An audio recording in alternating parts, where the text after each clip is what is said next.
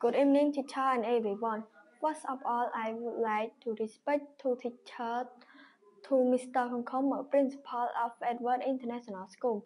Respect to teachers, staff, and all students studying English at Edward International School.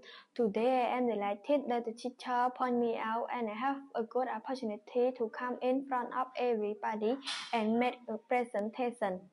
Well, my name is May. I am 14 years old. I study in grade 9 at Kokona Secondary School. I study English and Edward International School in class Kampong Lane level 4. If I speak English incorrectly or slip out any word unintentionally, please pardon me.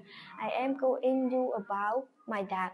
Duck is also a domestic bird like chicken. Duck has to run eyes, a flat back, two legs, and two wings, and their neck is long. The species, uh, the, the duck like to be in the water more. The special structure of their house help them to swim in the water.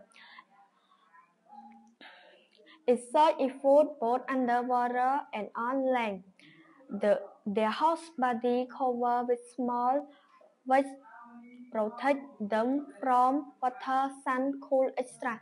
The structure of their wing is such that they get by water. Ducks are found almost all over the world.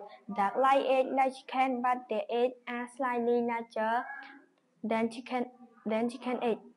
The average lifespan of the duck from 2 to 10 years. I am very appreciative to teacher and friends who are participated in listening to my topic. Thank you so much.